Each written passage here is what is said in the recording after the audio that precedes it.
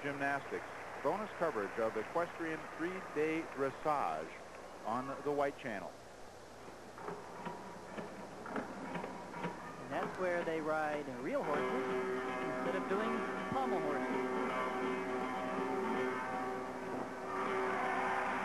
That was a full twisting double back, a much harder mount than the double pike that Fernandez started with.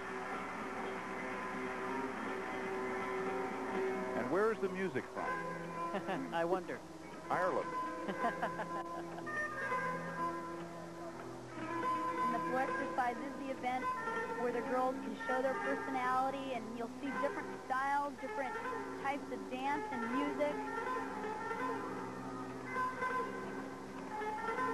Always a crowd praise favorite to watch, the Floor うん。